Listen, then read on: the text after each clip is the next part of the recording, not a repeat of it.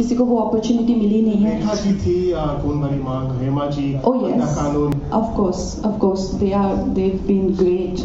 They've been amazing for their times.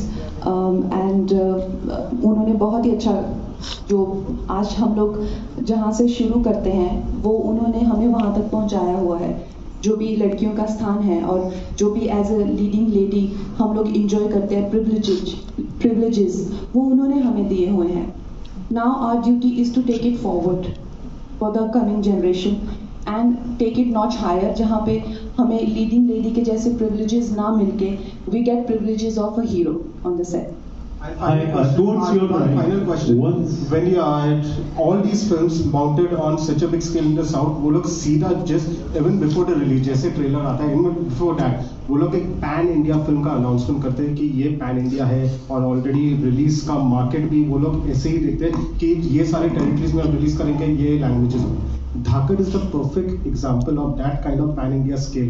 Why aren't we also taking these kind of movies and propagating it as pan India before the release? We are dubbing it in Tamil and Telugu and Kannada. So we are, of course, going to take it to the rest of the country.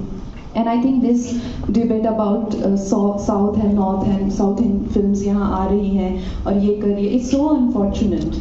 You know, they have always got this stepmotherly treatment, and that's why today it feels like a victory. It should have not been like this in the first place.